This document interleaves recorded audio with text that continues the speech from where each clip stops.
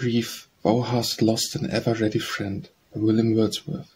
Grief, thou hast lost an ever ready friend. Now that the cottage spinning wheel is mute, And care, a comforter, what best could suit Her forward mood, and softliest reprehend, And love, a charmer's voice would use to lend More officiously than aught that flows From harbour lute, can influence to compose A throbbing pulse, else troubled without end. Even joy could tell, joy carving truth and jest From my own overflow, what powder sedate And those revolving motions did await Assiduously to soothe the aching breast, And to a point of just relief abate The mantling triumphs of a day too blest.